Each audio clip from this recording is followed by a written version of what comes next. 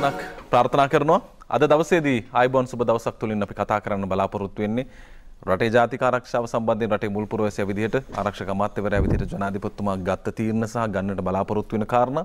ඒ වගේම ජනාධිපතිතුමාගේ භූමිකාව පිළිබඳ යම් යම් තැන්වලදී ප්‍රශ්න කිරීම සිදු කෙරුණා. මේ කියන සිදුවීමත් එක්ක. මේ කියන සියලු දේට අදාළව පිළිතුරු දීමයි අවශ්‍ය වෙලා තිබෙන මේ මොහොතේදී.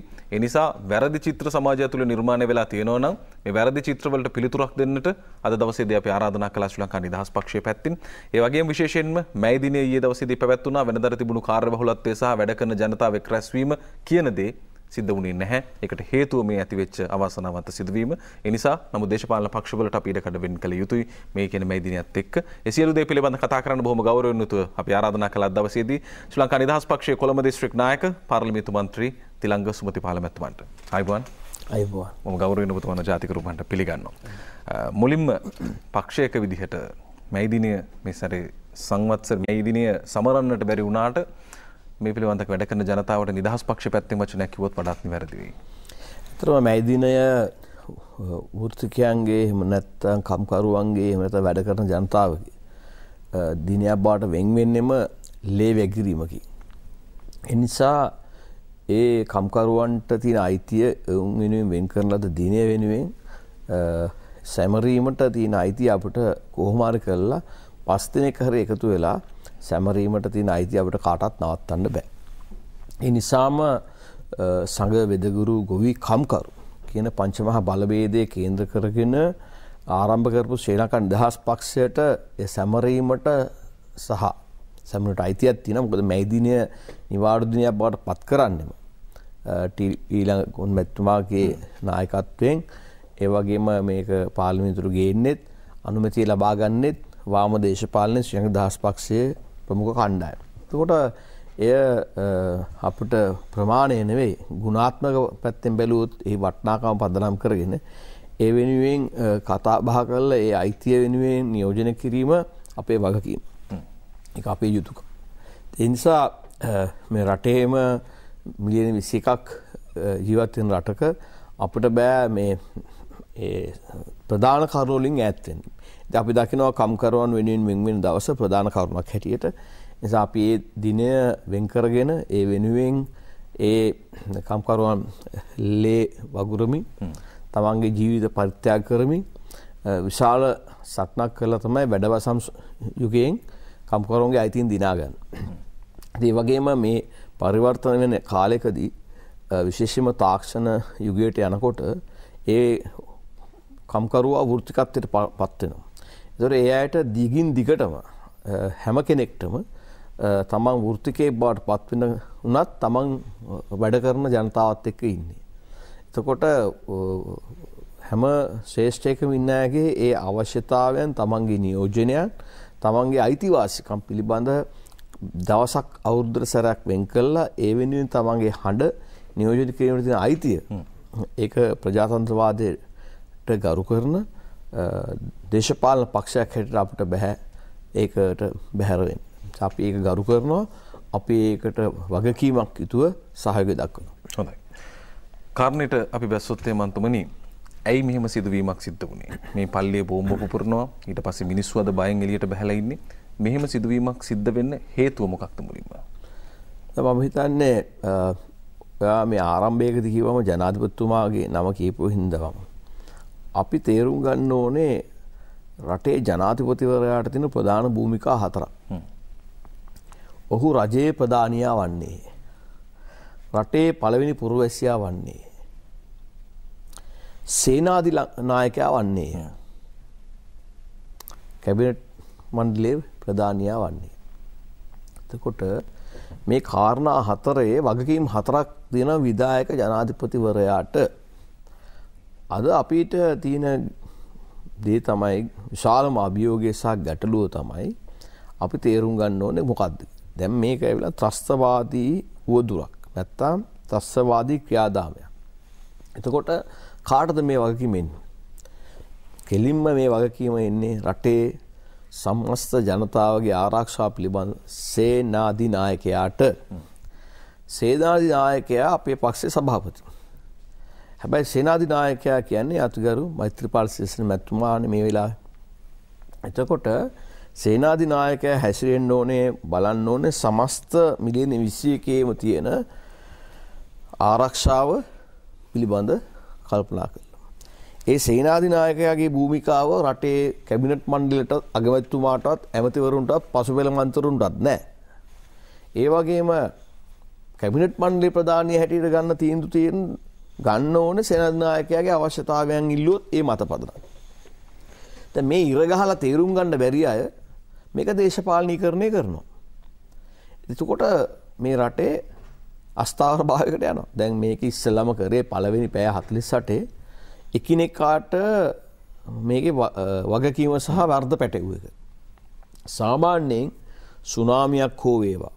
ගංගතුරක් වේවා. ලොකු ආපදාවක් වේවා. මෙවැනි ප්‍රහාරයක් වේවා. අපි සාමාන්‍යයෙන් ඉස්සල්ලම මේක පළවිනි අධියරේ කොටස් තුනකට බලාග. එකත් තමයි මේ වනි අපි බෝම්භයක් වෙන්න පුළුවන් පේතින් සෙන්ට්‍රල් බැංකුවට ගැහුවනේ මුළු මුළු කටනයි ගුවන්තොට පොල සුන්නත් දුළුවෙන්ට ගැහවන ප්ලේන් දහ තුනක් එක වෙලා ෂණක ප්ලේන් හතක් උද්දම ෆයිට ජෙට්ටික අනුරාධපුරේ සුන්නත් දුළුවෙන්ට ගැහවන්නේ පහෝද අපි රට වැැහුවේ දෙක නිසා උඩ අඩු වැඩියෙන් මේ රටේ ප්‍රහාර ඇල්ලලා තියනවා. එතකොට අපි ඉස්සල්ලම කරන්න ඕන පලනි කාරණා තමයි ඒ වියසන අවස්ථාවේ ෂණිකව වියසන භූමින් සහ ඒකට අනතුරට පත් වෙච්චායව ස්පිරිතාලවලට ගිහිල්ලා බෙහෙත්තේ දීලා ප්‍රශ්නය බලාග. ඊළඟට ඒ අයගේ මොනහරි අඩුපාඩුවත් තියෙනවනම් ඒ අයව ඒ ආබාධ තත්ත්වයන් වලින් මුදවා ගැනීම සහ ඒ අය සමහරට දැන් මේ අවස්ථාවේ පිටරටින් ආපු කට්ටිය හිටියා ඒ අයගේ ගමන් පිළිබඳව බලන්න ඕනේ අසාධ්‍ය තත්ත්වය බේරගන්න බලන්න ඕනේ ඊළඟට බලන්න ඕනේ ජීවිතක්ෂයට පත් වෙලා තියෙන අයගේ ඥාතින් සමග සාකච්ඡා කරමින් මොකක්ද තත්ත්වය බලලා කටයුතු. ඒක තමයි ඕනෑම ව්‍යසනයක ගංවතුරද පළවෙනි අදිය. දෙවැනි එක තමයි ඒ ඒ ඇත්තන්ට කොහොමද අපි ආධාර උපකාර කරන්න කියන. ඒක සාමාන්‍යයෙන් පළවෙනි පැය විසි හතරට පස්සේ ඇතිවෙන තත්ත්වයක් ඒක සාමාන්‍යයෙන් සතියක් ඇතුළත සමහරය ගෙවල් ගහගෙන ගිහිල්ල සමහරයට ගොඩක් අසාධ්‍ය තත්ත්‍ර පත්වෙලා මානසිකෝ වැටිලා වෛද්‍ය උපදෙස් ඕනේ. එය බලාගන්න ඕනේ. දරුවන් ඉන්න අම්මයි තාත්තයින්න අම්මයි තාත්ත ඉන්න එක දරුවනෑ තනි අම්ම හරින්නත් ලම්පත වගේ තත්ත්ය උඩ එයව කවනා කරණය කරගන්න ඕන මුදල්ල හුද ලබා දෙන්න පහසුකම ලබාද. ඒ සාමාන්‍යයෙන් දෙවනි අදිය. මේකට සමගාමීව සතියක් දෙකක් තුනක් අරගෙන උවදුර පිළිබඳ අධ්‍යනයක් කරලා ඒ පිළිබඳව ගතයුතු ක්‍රියාදාමය වෙනවම විශේෂක්ත දැනුමයට පවරන්ඩුල්. පවරණ ගමම්ම රාජ්‍ය ආරක්ෂාව අතට ගන්න ඕනේ නායකත්වය. දැ මේ සියල්දේ වුණාද මේ සියලුදේ මෛත්‍රී පාල සිරිසෙන ජනාධතුමා කළමනානය කරණය කරාද නැද කර.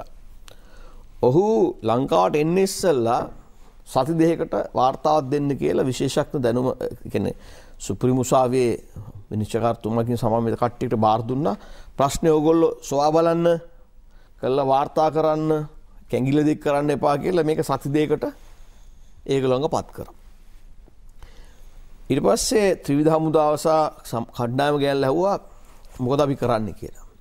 මේ පැත්තෙන් රාජිත සයනත් ඇමතුමා සම්පූර්ණයම ස්පිරිතාල්ටිකට කතා කල පෞද්ගල ස්පිතාල්ට කතා කල තුමාගේ වැට්ටික තුමාට කරන්න බාර. මාධ්‍ය කට්ටිය ගැල ඒක බලාගත්තා සියලුම දේශපාලන පක්ෂ ගැල සාකච්ඡා කරා. ආගිමුක නායකින් ගැල්ල සාකච්ඡා කරා. ව්‍යාපාර ප්‍රජාව ගැල්ල සාකච්ඡා කරා. ඊළඟට රට සංසුන් කර ගැනීමට අවශ්‍ය දේ ගැන සාකච්ඡා. එහිදී ජනපතුමක් කරේ එතුමා ත්‍රිවිධ හමුදාවසා පොලිසිය ගැඳවල ඇහුවා. මොකක්ද දැන් මේ තත්ත්වයට ඕගොල්ලන්ගේ උපදෙස් කියලා. එයා කිව්වා මේ මේ වගන්ති සමන්විත අපට ගැසට් එකක් ගහලා දෙන්න මොකද දැන් මෙතන ඉමර්ජන්සි නෑනේ හදිසි නීතිය නෑ. ඉතින් හදිසිය නීතිය නැතුව සර් අපිට රෝඩ් බ්ලොක් එකක් දාන්න බෑ. රෝඩ් බ්ලොක් එකක් දාලා අත්අඩංගුවට ගත්තොත් සැක කෙනෙක් එයාව පැය 48ක් ඇතුළත උසාවි දාන්න ඕනේ. එයාව ගත්තා එයා තොරතුරු ගන්න සිලා කෝල්ලක් දීලා කියන මෙන්න මාව අල්ලගත්තා ලෝය කෙනෙක් අරන් එන්න එතකොට අරමිගල හැංගෙන්. එතකොට මේක කවදාකවත් හදිසි නීතිය ගේන්නේ නැතුව මේක නවත්තන්න බෑස. ත්‍රිවිධ හමුදාවේ හමුදාපතිවරු සහ සියලු දෙනා ජනතුමා කිව්වා. එතකොට හොඳයි. 21 මේක වෙනවා. 22 රාත්‍රියේ හදිසි නීතිය. හදිසි නීතිය මේ රටේ පත් දානවනේ. එතකොට මොනවද හමුදාපතිතුමා කියන්නේ? අපි ඉල්ලේ ෆුට් සයිකල් එක නැත්නම් මෝටර් සයිකල් එක අපිට ලැබුණා හොඳ ෆෝර් වීල් ඩ්‍රයිව් ලොකු වාහනයක්. අපිට දැන් බලය දුන්නා. දැන් අපි මේක අතර ගන්න ඕනේ. එතකොට ඉස්සල්ලාම කරේ ඒ ඇව නැවතත් මේ අවදානම් තත්ත්වයට පෙළ ගස්ස ගත්ත ත්‍රිවිධ හමුදා. අරන් ඒ ඇත්තන්ට බලය දුන්නා. බලය දීලා කිව්වා ඕගොල්ලෝ ඕගොල්ලන්ගේ රාජකාරී කරන්න. ඊළඟට මුදල් අමාත්‍යාංශයත් එක්ක එතුමා සාකච්ඡා කරලා ඇහුවා මේ වෙලාවේ මූල්‍යමය තත්ත්වය මොකක්ද කියලා. මංගල ඇමතුමා කිව්වා ජනාධිපතිතුමාගේ ක්‍රියාදාමයන් සහ කටයුතු සඳහා ප්‍රමුඛත්වය දෙනවා අපි. ඒ නිසා මේ රාජ්‍ය ආරක්ෂාවේ උපදෙස් මොනවාද? ඒ උපදෙස් මත කරන්න මොනවද තියෙන්නේ මුදල් ගැන මොන ප්‍රශ්න වුණත් මේ වෙලාවේ ප්‍රශ්නයක් කරගන්න එපා කියලා මුදල් අමාත්‍යාංශයේ මුදල් ඇමතුමා සහ කණ්ඩායම විශ්වාසයක් ඇති කරන විදිහට කටයුතු කරලා තියෙනවා. ඊට පස්සේ ජනතුමා මේ සියලු කරුණු මැද මේ වියසෙන්ට පත්වෙච්ච කාඩිනල්තුමා බැහැ දැකලා ඒ ආගමික කටයුතු වලට මොකද්ද සිද්ධ වෙන්න ඕනේ කියලා ඒ පිළිබඳ සාකච්ඡා කර මේ තැන් වලට ගිහිල්ලා බලලා ඒ හිමින් හිමින් මේ ප්‍රශ්න එක එක්කනට බෙදලා දීලා සාකච්ඡා මට්ටමින් ඉදිරියට යන ගමන් හිටියේ. දැන් ඒ අතරතුර දෛනිකව ලැබෙන තොරතුරු මත දෛනිකව ලැබෙන තොරතුරු මත මේක මොන වගේ ප්‍රශ්නයක්ද කියලා විග්‍රහ කරන්න විග්‍රහ කරන්න පැහැදිලිවම මේ ප්‍රශ්නය දේශීය වශයෙන් රට ඇතුළේ තිබිච්ච ප්‍රශ්නයක් නෙවෙයි.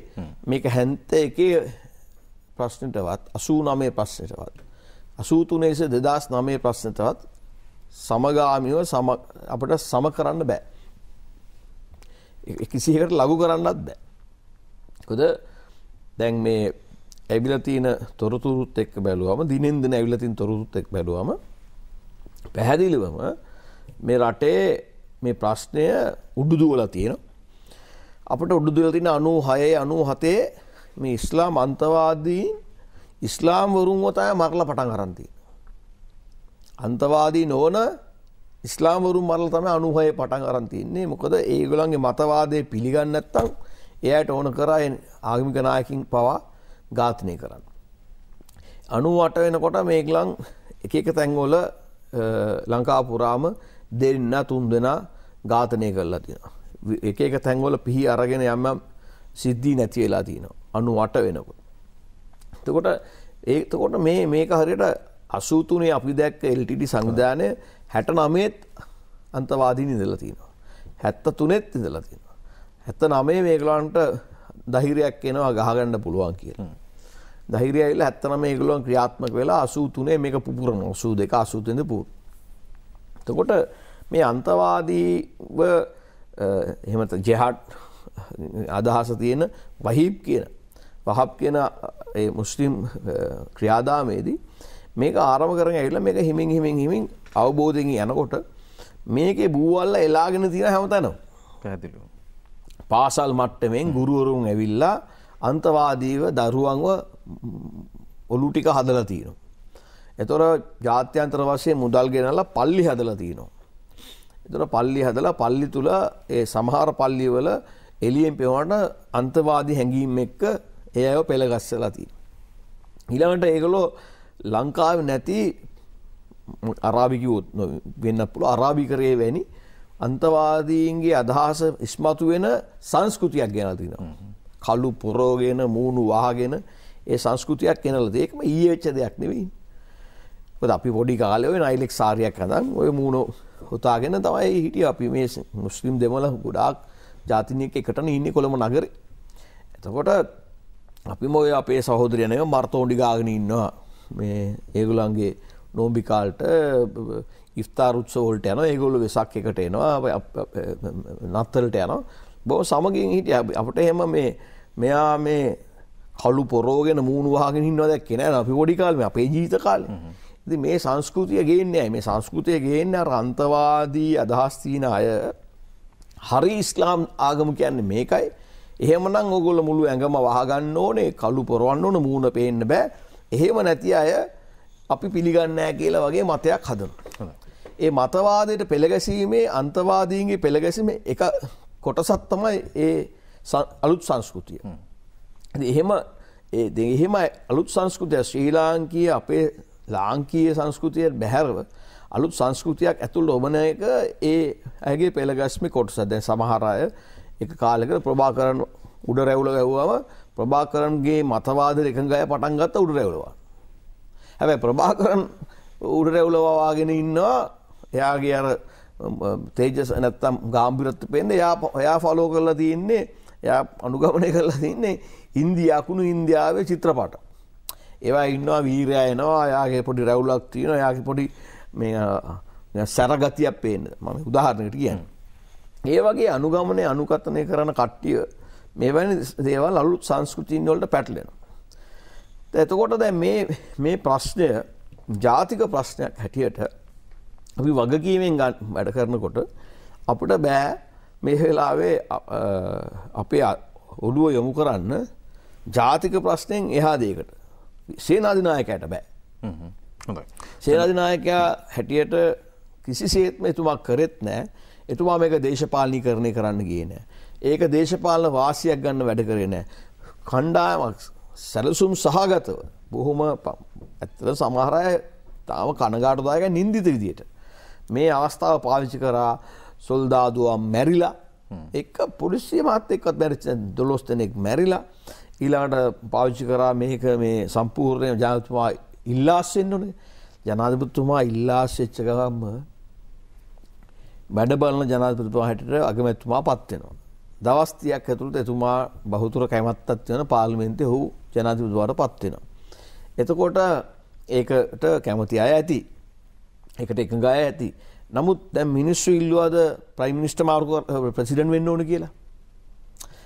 ජනාධිපතිතුමාව ඉල්ලාස් වෙන්න කියලා දේශපාලඥයෝ උනේ කියන්නේ. දැන් මම මේ කියන්නේ ඇයි මේ සේනාදී නායකයා කියන තනතුරේ භූමිකාවේ වගකීම සහ වගවීමට ඉඩකඩ නොදී එයා එතන ශක්තිමත් කරන්නේ නැහැ කියන්නෙම එතුමා මෛත්‍රීපාල සිරිසේන මැතිතුමාට ගහනව නෙවෙයි. මේ සේනාධිනායකයටයි ගහන්නේ. සේනාධිනායකයා දුර්වල කිරීම අපේ ත්‍රස්තවාදීන් මේ රටේ ඉන්න ත්‍රස්තවාදීන්ගේ අරමුණක්නේ. හොඳයි. දැන් ජනාධිපතිතුමාගේ පැත්තේ භූමිකාව ඔබතුමා පැහැදිලි කරා ජනාධිපතිතුමාගෙන් පැත්ත වෙලා තියෙන වැඩ ටික මෙහෙමයි. හැබැයි කාදිනතුමන් පෙරේද දවසේදී කියන කාරණේ තමයි අත්අඩංගුවට ගැනීම වලදී යම් ආකාරයක තෝරා බේරා ගැනීම තියෙනවා. විශේෂයෙන්ම යම් යම් දේශපාලන නායකින්ට චෝදනා එල්ල වෙනවා පෙරියමුල්ල පැත්තේ සමහර වෙලාවට වහලා තියෙන ගෙවල් පරීක්ෂා කරන්න නැතුව යනවා. මේ විදිහේ යම් ආකාරයේ අතපෙවීමක් තියෙනවද මේ දියත් වෙන පරීක්ෂණ වලට යම් ආකාරයේ දේශපාලනික බලපෑමක් තියෙනවද? කවුරු හරි පැමිණිල්ලක් කළා ඒ ගැන සොයලා බලලා ඒ පැමිණිල්ල අනුව සැකසහිත නම් තරාතිරම බලන්න නැතුව ජනාධිපතිතුමා කියලා තියෙන නීතිය ක්‍රියාත්මක කරන්න. ඉතින් මේ දැන් ඔය කියනවා නම් ටිකක් කියනවානේ මුස්ලිම් ජනතාව අතරින් නම් හතරක් විතර කියනවා රිෂාඩ් බදුදීන්. එතකොට අසත් සාලි. එතකොට මුජූ රවුමාන්. ඊළඟට ඔය මේ නැගින ආණ්ඩුකාරතුමා ඉස්බුල් ඇමතුමා.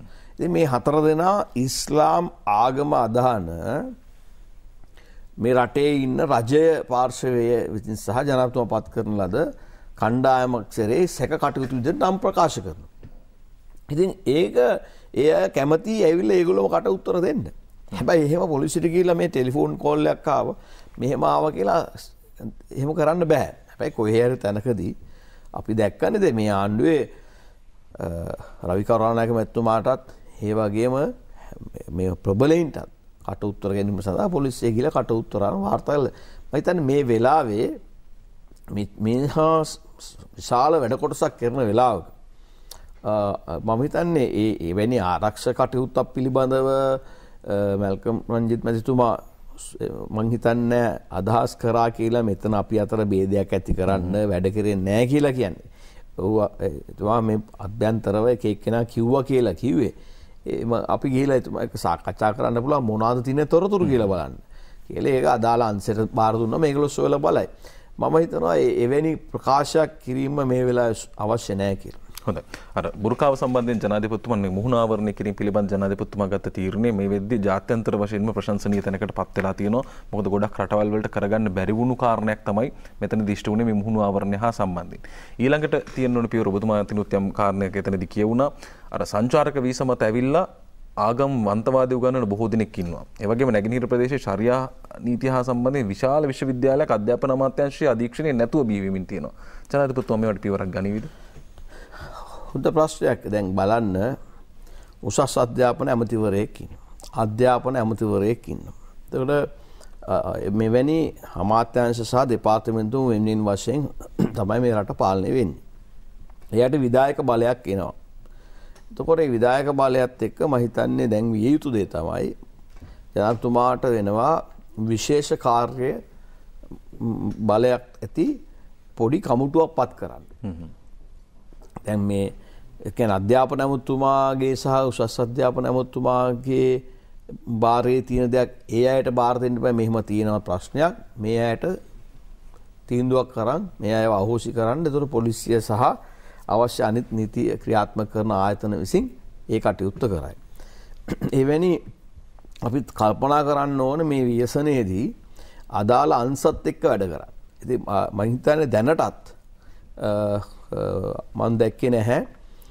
අගමැත්තුමා ප්‍රමුඛ පොඩි කණ්ඩායම පස් හය දෙනෙක්ගේ වගේ කණ්ඩායමක්. ජනතුමාට එක්ක සාකච්ඡා කරලා මහිතන්නේ දැංගුණත් ප්‍රමාද නෑ විශේෂ කාර්ය කමුටුවක් පත් කරන්න ඕනේ.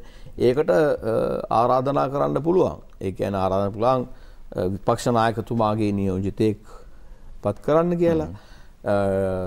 සම්බන්ධන් මහත්තයාගේ නියෝජිතය පත් කරන්න කියලා එවැනි කණ්ඩායමක් පත් කල්ලා මොකද දේශපාලනය ඉන්න සියලු දෙනාට නොයකුත් තොරතුරු ලැබෙනවා. අදහස් එනවා. ඒව හොඳ වෙන්න පුළුව නර්ක වෙන්න පුළුව හරි වෙන්න පුළුවන් බොරු වෙන්න පුළුව. හැබැයි ඒ තොරතුරු ගලාවම ඒවා තමන්ට ඉදිරිපත් කල්ලා ක්‍රියාත්ම කිරීමේ ඒජන්සියක් එම ආයතනයක් නැතිවුණාම එය මාධ්‍යර එල් ප්‍රකාශය පත් කරනවා. ඒ ප්‍රකාශ කිරීම තුළම එයට විවිධ මතයක් ඇක්තිවෙන. මතවාදය ගියාට පස හරි අමාරුයි පාලනය කරගන්න. මම දකින දැන්ට එමැනි මේ ජාතික කමුටුවක් පත් කළ යුතුයි ඒ කමුටුව සියල් දෙනාගෙන් සමන්විය යුතුයි ඒක සේනාධනායකයා සභාපති හැටියට එතුමා ඉඳගෙන සතියකට සැරයක් මුණ ගැහෙල කරුණු ඉදිරිපත් කල්ලා ඒ දැන් අපි කියනවා ගුරුවරුම් හයසියක් වගේ ප්‍රමාණයක් ලංකාව ඉඳලා පාසල් හයදහගේ ප්‍රමාණයක් නැත්තං ගුරුවරු හයදාහක වගේ ප්‍රමාණයක් මේ අන්තවාද දරුවන්ග පෙළ ගැස්සුව කියලා. දැයි අදහසක්න. ඒක අධ්‍යාපන ඇමතුමාට වාර්තා ගන්න කියලා ඒවගේම ආගමික ආගම් පිළිබඳව ඇමතුවරයගෙන් සාකච්ඡා කළ ගන්නක දැන් සමහර තැන්වලට අලුතෙන් පල්ලි හදන්ඩ අවසර දිලා තියෙනවා. එතකොට ඇමතුමා කියනවා මම එක මෙව හැදුවේ නෑ කියලා හදන්ඩ අවසර දුන්නෑක. හදන්ඩ අවසරදීම සහ පල්ලියකට අවසර කියන දෙකක්. දෙතකොට දැන් මේ සැකය බුදුරු වෙන්න නම් නිරන්තරයම වාර්තා දෙන්න ඕන ලිකිතව එලිට ඇවිල මෙහම අදහසත්තිව මන් සොයල බැලූ සොයල බැලුවම එහෙම දෙයක් නෑ. අපේ අවාසනාවන්ත තත්ත්ය තමයි ඇත්ත කරුණු ඉදිරිපත් කරාට ඇත්ත කරුණු දැන් අපි කියමු යම් කිසි කෙනෙ ප්‍රකාශයක් කරනවා. අනවබෝධය. ඒ ප්‍රකාශය සත්‍ය නෙවෙයි පස්සේ ඔප්පු වෙනවා. එතෝට යාට තියෙන් ඕනේ මම මෙම හිතාගෙනකිවේ මන් සමාවෙන්ඩ මට වැරදුනා මම කිව යෝහිදනය කියලා කියන්න සමන්ට තියෙන් ඕනේ මනුස්සකවක්. දැ හොඳටම දැනගෙන මේක බොරු කියලා. ආණ්ඩුව අපහසුතාට පත් කරන ජනාධතුමා සේනාධනායකයාව සම්පූර්ණයම දුරුවල කරන්න. ඒකෙන් දේශපාලන වාසියක් ගන්න නැත්තන් තමන් කරන ව්‍යාපාර කටයුතුළට වාසියක් ගන්න එමට තමන් කරන මොක් හරි අනිකුත් තනතුරු පිළිබඳව වාසියක් ගන්න නොයකුත් අදහස් මත ඉඳගෙන ක්‍රියාත්මන කණ්ඩායමක් ඉන්න ඒවැන් අපි පරිස්සං වෙන්ඩු. දේකයි මම කිව්වේ මොයම් කිසි තොරතුරක් අපි හැමෝටම ලැබෙනවනම් අපි ඒක ඉදිරිපත් කරන්න ඕන බොම සංගමයකින් මේ වෙලාවේ අදාලා ආයතනයට. ති එහෙ වගේම ජාතික කමුටුවක්. මේ මේ වගෙන අවස්ථාවක ජනතුමාගේ ජනතුමා වැඩ ගොඩා කරගෙන යනවා. අති විශාලට යන දැන් මේ ඉදිරියේදී මොකද මේ ප්‍රශ්නය මටනම් පේන්නේ දැන් මාසකින් දෙකකින් ඉවරෙන ප්‍රශ්නයක් කියලා. දැන් අපි දන්න තරමට අවුරුදු විසිසකට වැඩි ආරම්භ කළ. එතු අවුරුදු විශ්ෂට වැඩිනම් මේ ප්‍රශ්නය අතව අවුරුදු විශ්ෂකට පස්සේ තා එන්න පුළුව. එහෙමනම් මේ ව්‍යසනය එම ඇත්තේ අපරාධය මේ වෙච්ච ප්‍රශ්නය පිළිබඳව ජාතික අමුඩක් විසින් කම්ඩා පත් කල්ලා ඉදිරියේ මේක වෙන එක නවත්තන්න මොකක්ද කරන්න පිළිබඳව සහ ඒ පිළිබඳ දිගට මොනරාජයක් හිටියත් අටෝදු කිරීමේ අවශ්‍යතාවයක් එතන තියෙන. හොඳයි. අපි තවදුරටත් කතා කරමු. රටේ වවතින තත්ත්වය පිළිබඳ ජනාධිපතිතුමන්ගෙන් පාර්ශවයෙන් ක්‍රියාත්මක වෙන වැඩ පිළිවෙලක් තිබෙනවා. පැහැදිලිවම ප්‍රශංසා කළ යුතු අංශ තිබෙනවා. ඒ තමයි මේ විද්‍යා ආරක්ෂක අංශ දියත් කර තිබෙන දැවැන්ත මෙහෙයුම් ඔස්සේ සිදුවෙන්නට ගියපු මහා විනාශයක්. දෙවන ප්‍රහාර සැලසුම් කර තිබිච්ච දේවල් මේ සියලු දේ නිවාරණය කරන්නට හැකියාව ලැබුණා. ඒ වගේම ඉදිරි වැඩ පිළිවෙල පිළිබඳ කතා කරමු. අපි කෙටි විරාමයකට යමු විරාමයෙන් පසු යලිත් කතා බහට එකතු වෙමු. නායක පාර්ලිමේන්තු මන්ත්‍රී තිලංග සුමති පාර්ලිමේන්තුමන් සමගින් අපි කතා කරමින් ඉන්නේ වර්තමානයේ පවතින තත්ත්වය පිළිබඳ. මන්තුමනි පාසල් ආරම්භ වෙනවා මේ ලැබෙන සඳුදා දවසේදී. ඒ වගේම තමයි අද වෙද්දිත් වාර්තා වෙන්නේ 50යි රාජ්‍ය සේවයේ ක්‍රියාකාරීත්වය මේ ගෙවුණු සතිය ඇතුළතදී. විශ්වාසනීය තහවුරුවක් දෙන්න පුළුවන්ද ඉදිරි ආරක්ෂාව සම්බන්ධයෙන් රටේ? මම හිතන්නේ අපි කල්පනා කරන්න ඕන අපි හැමෝටම තියෙනවා යම් කිසි විදිහේ පරිත්‍යාග කරන්න. මොකද අපි 83 කළු ජූලි වෙලාවේදී දවස් පහක් යනකම් ඇදිරි නීතිය දාපු නැති රට. අපි විශාල වශයෙන් ලෝකයේ ඉදිරියේ අපකීර්තියට පත් වෙලා ඒකෙන් ප්‍රයෝජනය ගත්ත රටක් අපේ රටට විරුද්ධව ත්‍රස්තවාදීන් ලෝක පුරා. ලක්ෂ 10ක් වගේ ප්‍රමාණයක් රට දාලා ගිහිල්ලා ඒ රටවල් වල දේශපාලන සිරකඳුරුවන් හිටියට පදිංචිලා ඒ අයගෙන් අත්පත් වෙච්ච પરම්පරා ගණනාවක් අපිට විරුද්ධව වැඩ කරපු රට. එතකොට අපි කල්පනා කරලා බලන්න ඕනේ කොහොමද ඒ අත්දැකීම් වලින් අපි පරිස්සමෙන් වැඩ කරන්න කියලා. ඉතින් මේ වෙනකොට මේ හේතුව මත පදනම් වෙලා 300ක් වගේ ප්‍රමාණයක් ජීවිතක්ෂයට පත් වෙලා අපේ මිනිස්සු කවුරුත් අහිංසක මිනිස්සුන් පස්සේ ගිහිල්ලා හඹා ගිහිල්ලා ඝාතනය කළා දේපල හානි කළා ගිනි තියලා පුච්චලා වැඩ කරේ නැහනේ. ඒක සමස්ත ජනතාවක් හැටියට අද රටම අගය කරනවා. ඒ වගේම උපක්‍රමශීලී විය යුතු වෙලාවකුත් තියෙනවා. මොකද ආවේගශීලී වෙනවා. වැරදි තොරතුරු ආවම කේන්ති යනවා. ඒ ෂණේකයේ මිනිස්සු වැරදි වැඩවලට පොළඹවන්න පුළුවන්. හැබැයි ඒක කරන්න යම් යම් පිරිසක් උත්සාහ ගත්තා. නමුත් ඒකට ජනතාව ඊට වඩා ඉදිරියෙන් හිටියා. ඒ වගේම ඇඳිරි නීතිය දාන්න සිද්ධ වුණා. හදිසි නීතිය ගෙනාවා. ඒ ෂණිකව ගත්ත ක්‍රියාදාමයන් තුල එවගේම ජනතාව අපේක්ෂා කරන අන්තවාදීන්ට විරුද්ධව මෛත්‍රපාල සිරිසයන ජනාධපතිතුමා විසින් ක්‍රියාත්මක වෙනවා කියන විශ්වාසය දැන් ගොඩනැගිලා තියෙනවා. අපේ රටට අලුත් සංස්කෘතියක් එපා අපේ දේශීයක් දේශයත්වයක් තියාගෙන ශ්‍රී ලාංකීය සංස්කෘතියේ සියලු දෙනාටම ආගම ඇදහිීමට තියෙන අයිතිය සුරක්ෂිත කරන ගමන් මේ පිටසක් වලින් ඇවිල්ලා මේ රටේ සංස්කෘතිය ඛණ්ඩ එපා කියන තැන මෛත්‍රීපාල සිරිසේන මැතිතුමා ඉන්නවා කියලා රටේ විශ්වාසය දිනා ගනිමින් සිටිනවා. එතකොට ජනතාව සංසුන් වෙනවා. ජනතාව සංසුන් වෙනවා හරි. මේ මූුණු වහගෙන කළු පොරෝගෙන යන එකට ජනතුමා නීතිය කෙසේ වෙතත් අහනම් කරා. ඇඳරී නීතිය ගෙනාව. හදිසි නීතිය ගෙනාව. ඒ වගේම කවුරුත් කරපු නැති මේ නීතියෙන් බෑ අරවවුන ඉද්දි දැනට මේ වෙනකොට ජාත්‍යන්තරට සම්බන්ධ ලංකාවෙත් සින්න අන්තවාදී සංවිධාන දෙකක් අතිටොලදී. තානම් කල්ලති. එතකොට දැන් එතුමාට තියෙන්නේ මේක ගැසට් කරලා නීතිය හදලා නීතියට අවස් නීති අනුකූලුව කරලා ඒක පාර්ලිමිතුරය සම්මත කරන්න. තැන් මේ සියලු දේවල් කරන්න අපි කිව්වොත් දැන් නීතිය ඉඩ කඩ නෑ නීතියේ ප්‍රතිපාදන නෑකීක හින්න ගියාන මේ වෙනකොට අඩුම ගාන එහෙම හිටියනං ජනතුවා අඩුම ගාන තැන් බෝම්බ දායක් විතර තව ගිල්ල. අඩුම ගාන හාර පන්සියක් මිනිසු තැනුත් මැරලා. අපි ඉන්න කබලෙන් ලිපට වැටිච මිනිස්සු හැටියට. බලාපොරොත්තු සුන් වෙච්ච මුකුත් කර කියාගන්න බැරි. නායකත්වයක් දෙන්න නැති. නමුත් එහෙම වුණේ නෑ. ඉතින් මේ අපි තේරුම් ගන්න ඕනේ කාලෙන් කාල්ට රටේ ප්‍රශ්න ඇතිවෙනවා. හැම ප්‍රශ්නයක්ම විසඳන්න පුළුවන් කිහිප දෙනෙක් විතරයි කියලා අපට හිතන්න නරකයි. ඒ වගේම යම් යම් ප්‍රශ්න වලට විශේෂක් අය කැදවන්නත් ඕනේ. ඉතින් මේකේ මැද පාවතක් හොයාගන්න ඕනේ. ඉතින් මම මේකයි කියන්නේ දිගටම සේනාධි නායකයාගේ භූමිකාව මොකක්ද කියලා තේරුම් අරගෙන සේනාධි නායකයාට සමස්ත ජනතාවේ සහයෝගය ලබා දිය යුතුමයි.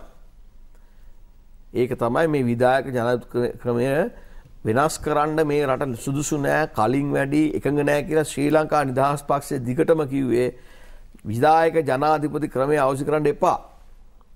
මේක නෙමේ වෙලාව. අපේ රට ලේස්ති නෑ සුදුසු නෑ අවධානමකට ගියොත් අපට මුණ දැන් අද හිතන්න විධායක ජනතුකෙක් නෑ කිය. පාර්ලිමේන්තිය බෞතරයක් හදාගන්න බෑ.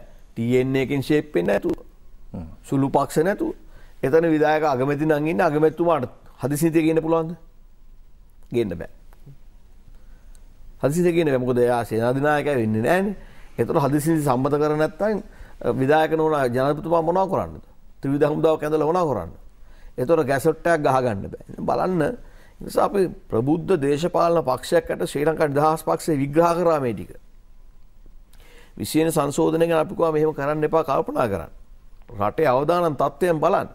ඒක නිසා අපි ඒ අතින් සන්තෝෂ වෙනවා. අපි දේශපාලන පක්ෂයක් හැටියට හරි මාවතේ මැද මාවතේ ඉඳගෙන ප්‍රජාතන්ත්‍රවාදය සුරක්ෂිත කරන ගමන් ආරක්ෂා කරන ගමන් අන්තවාදී ඕනෑම ආගමක ජාතියක අන්තවාදීන් අදහස් වලන මැද මාවතින් දැන් මේ රටේ මිලියන 20ක ජනතාව වෙනුවෙන් පෙනී සිටිය ප්‍රබුද්ධ පක්ෂය හැටියට නියෝජනය කිරීම ගැන අපි සන්තෝෂ වෙනවා. හොඳයි.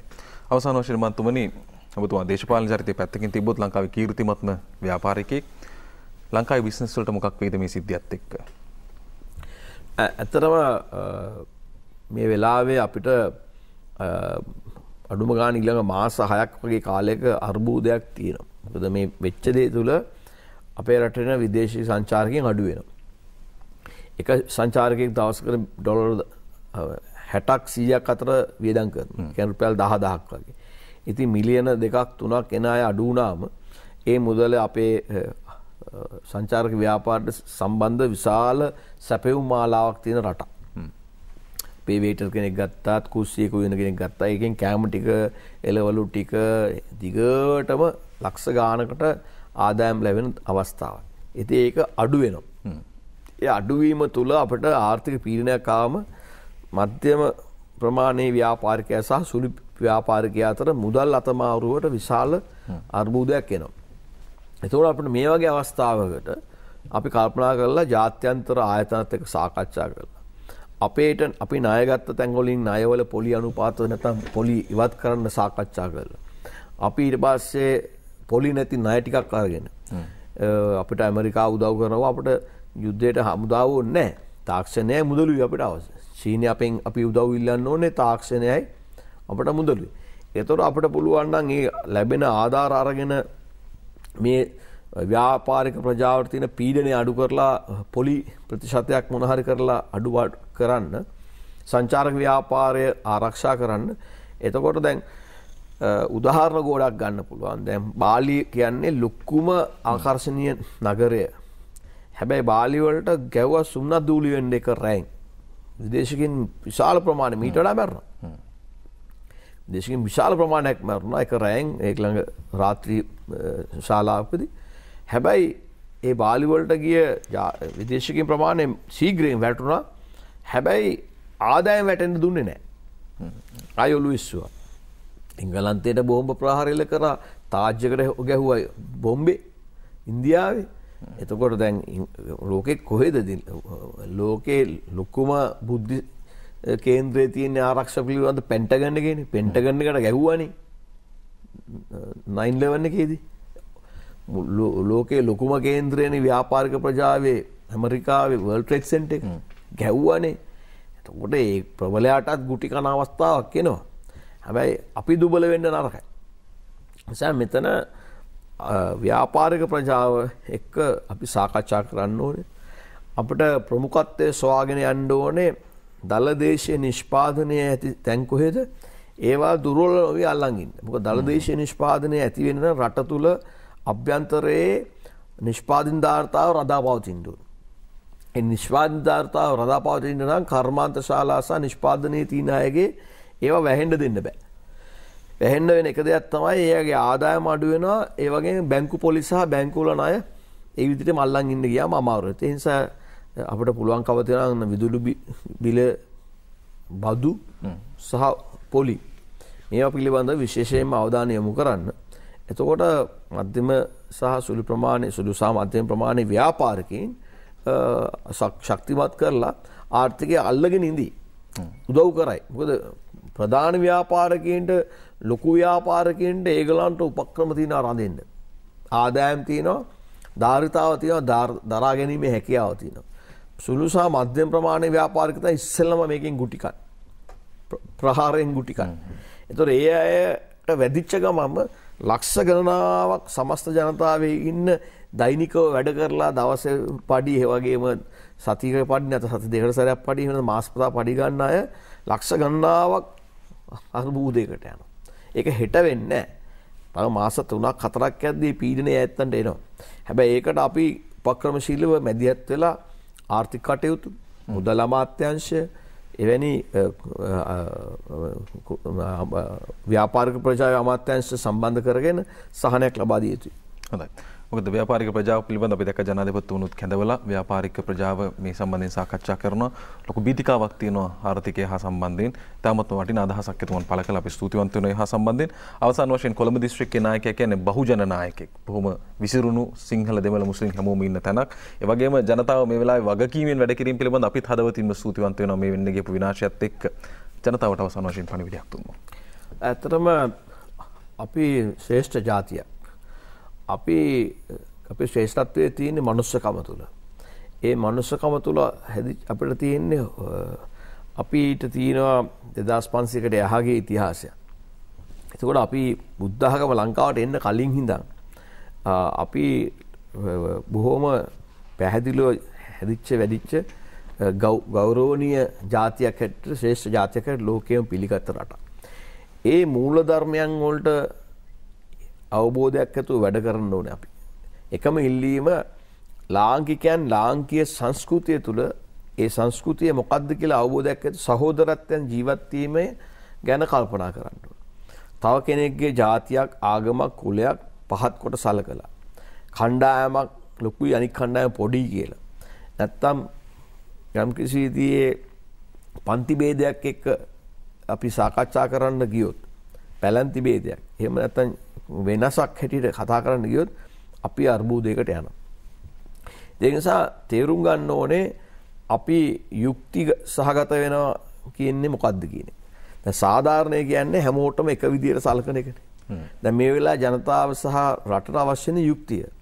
ඒතර අඩුපාඩු වැඩියෙන් තියෙන අ, නැති බැරිකම් වැඩියෙන් තියෙනට අපි වැඩියෙන් සලකන්න ඕනේ. ඒ වගේම වැඩිවියෙන් අඩුපාඩුකම් සහ එයාට යම්කිසි විදිහේ අකරතැබ්බයක් වුණා නම් එයාට මැදිහත්වීම වැඩි කරන්න තමයි යුක්තිසහගත වෙන්නේ. ඉතින් ඒක කරන්න බෑ. අපි කිව්වොත් අ, මේ මිනිස්සු මුස්ලිම් අ, මේ මේ මිනිස්සු අත්නවාදී මේ මිනිස්සු දෙමළ.